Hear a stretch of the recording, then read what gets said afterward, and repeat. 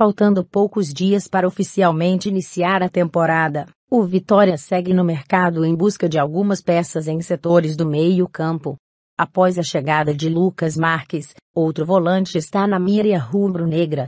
Rodrigo Andrade, destaque do Paysandu na Série B, pode estar próximo do Leão. Em contato exclusivo com a reportagem do Arena Rubro Negra, o diretor executivo de futebol do Paysandu, André Mazuco, confirmou o interesse do Vitória no jogador. Há um interesse sim. O Vitória chegou a fazer proposta, mas ainda sem acordo. José Rodrigo Andrade Ramos tem 20 anos, e é natural de Belém, Pará.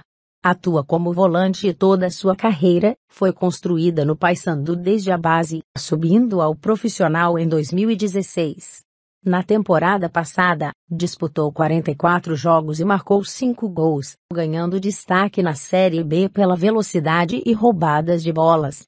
Este artigo foi lido no site arenarubronegra.com. Não deixe de se inscrever em nosso canal.